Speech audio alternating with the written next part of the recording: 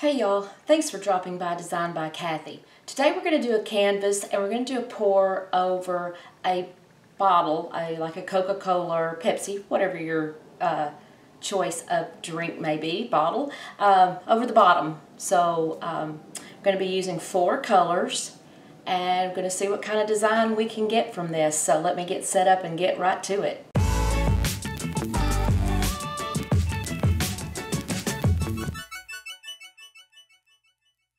Have a 12 by 12 canvas here and I'm going to be using four colors. Uh, I'm going to use this light ivory to kind of go around my outer edges and to use intermittently with these colors. Um, I've got a, this is a mix. I didn't want just a bright stark yellow so I added a little bit of spice brown to yellow and came up with this kind of a golden, golden color. And then I'm going to be using black and then I also have a metallic pure gold. And then I'm going to be using, excuse me, I'm going to be using the bottom of a Coca-Cola bottle, plastic bottle.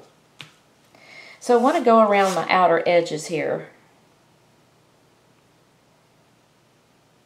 For starters. I've mixed each of these paints with Floetrol at a one to one or maybe a little more, one to two ratio. The Floetrol, I usually use a little bit more, but I didn't want it, I don't want it so, you know, so thin that it's just going to go dashing off my, uh, my canvas because it'll take my whole entire uh, pattern with it. So you, you want to kind of watch that. But we're going to give this something, uh, when we start pouring, I want to give it something here to kind of attach to to hopefully hold the pattern in on the canvas. You may end up having some runoff. As long as you don't let too much, it won't take your whole pattern with it. Or that's what we're hoping.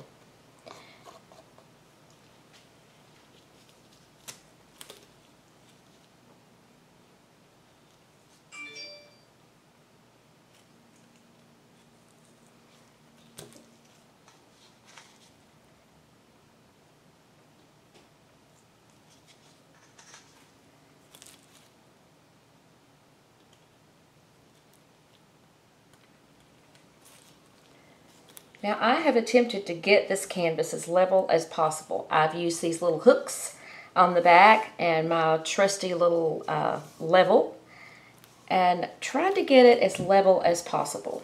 As I've mentioned in the past, my table is set up in a garage and as you know, uh, most garages are not level. They're built on a slope. So while I've even got things on my table legs down here, uh, I still run into issues. But, you know, we do what we can do.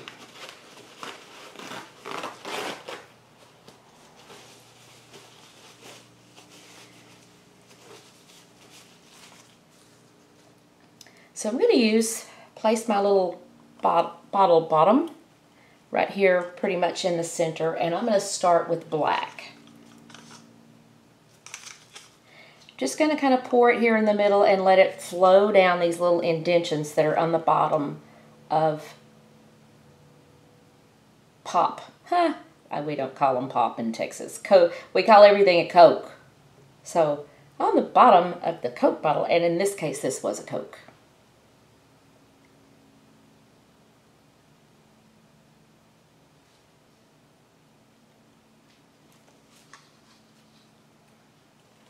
Got a little drippage going, but hopefully we'll cover that.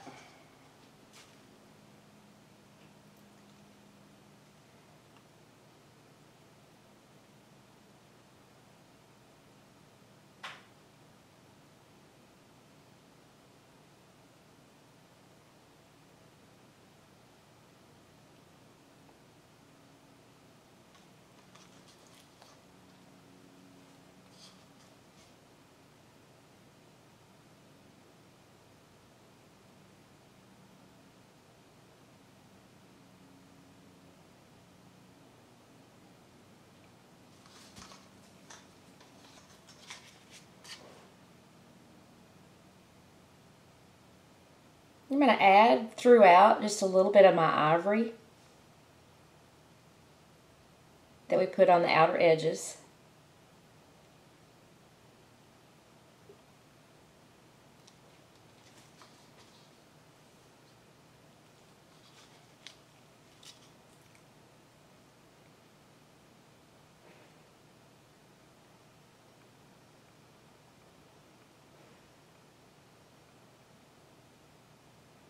As you can see, each time it runs down, it's pushing the, the layer before it, pushing it on forward.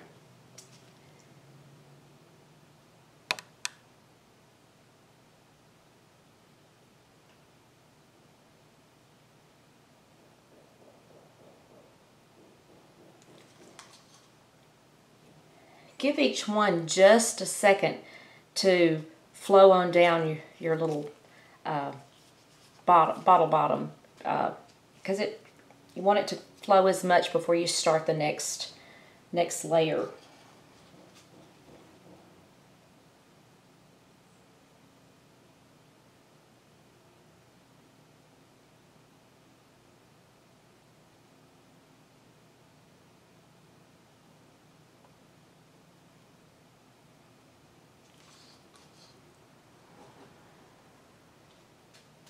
I'm going to turn this because clearly my leveling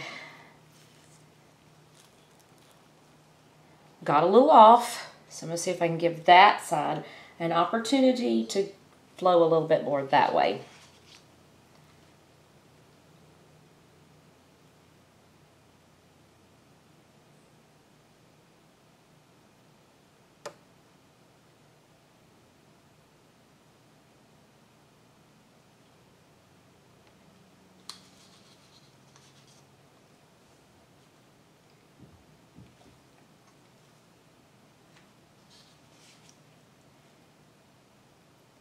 This is something unlike when we just pour and manipulate the canvas. This takes a little more patience.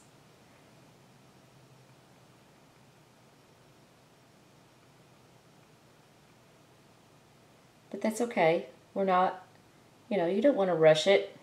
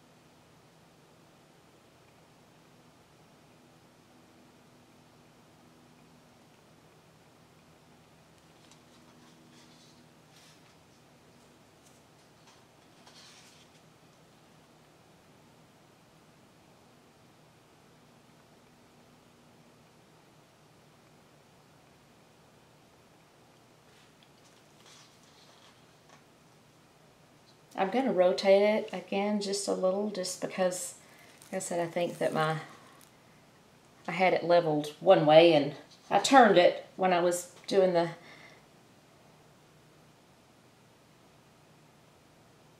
just to give it equal opportunity here.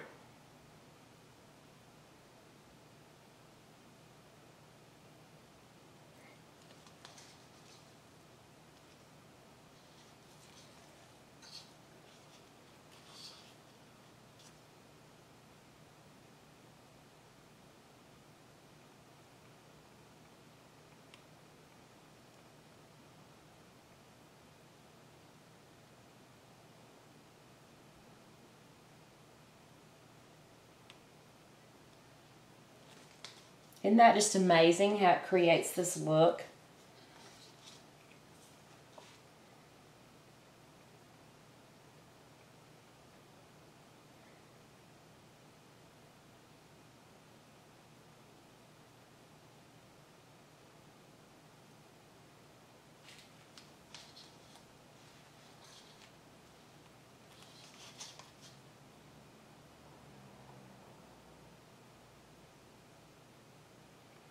I'm just letting a little bit, just a tiny stream drizzle here, more or less in the center. And then it should just take off down all, all the little sides here.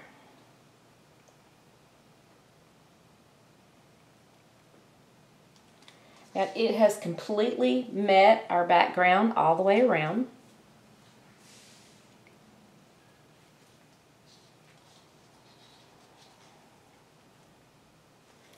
I'm going to put the gold. I like the gold up against the black.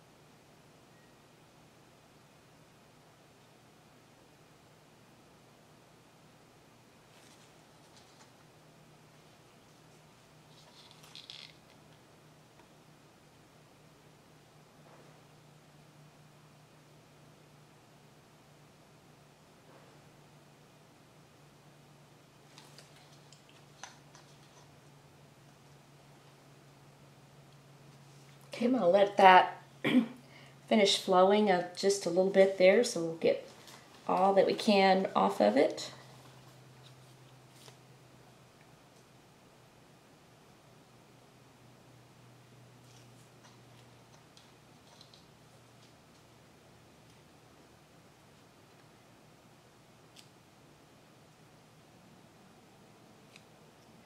I'm going to very carefully pick this up and grab it to where I won't have any drips. And as you can see, that closed right in. I'm going to just take my popsicle stick and see if we can just continue our design through here.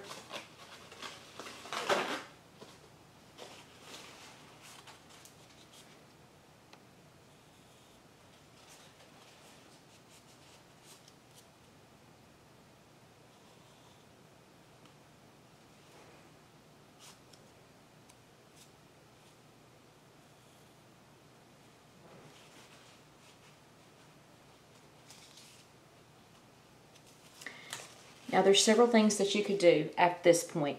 If you want to manipulate it, you can do a little manipulating. Um, you're going to totally, it will change your pattern. Uh, it will, if you, but I kind of like this like just like it is. I like having the negative space. I've got some places with my ivory I'm going to need to touch up. But uh, basically, I like it just the way it is. So I'm going to leave it. I'm not going to do any manipulation. I'm going to let it dry. Now that being said, there is a good bit of paint on here, so it's going to take it a little while to dry. This also doesn't mean that it won't go on and flow. Now what we hope is this putting this outer edge that it kind of set up just a little bit that it's not going to take this because if this edge starts flowing it's going to take your pattern with it. Not that that's a bad thing try it. See what you come up with that you, that you like uh, because there's certainly nothing wrong at all with doing that. Uh, it's just you know your your imagination, your creativity, and you want to make it you want to make it yours. But uh, thank you all for watching, and I, I certainly appreciate you subscribers. If you're new to Designed by Kathy, I hope you'll subscribe as well, and let's continue on with this fluid painting journey. Uh, again, don't forget to check the links below. Uh, there's a link to my artwork as well as my Amazon page that helps support this channel. Thank you all so much. And hey, I look forward to your thumbs up and your comments. You all have a great day.